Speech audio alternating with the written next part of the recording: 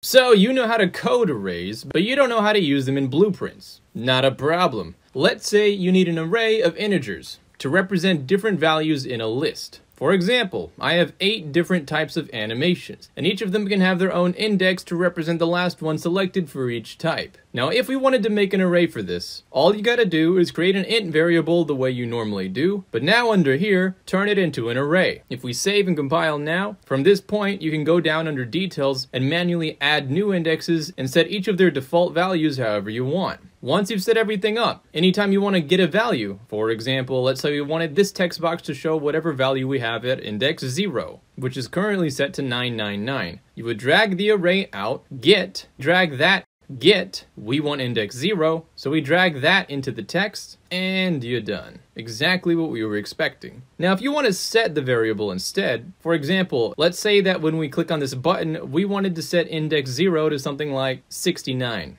Under the standard button trigger, drag out your array as usual, get, then drag out a set array element. We want index 0, and we want to set that index to 69. If we save and compile now, you can see that's exactly what happens. Hope that helps, and as always, hope you have a fantastic day, and I'll see you around.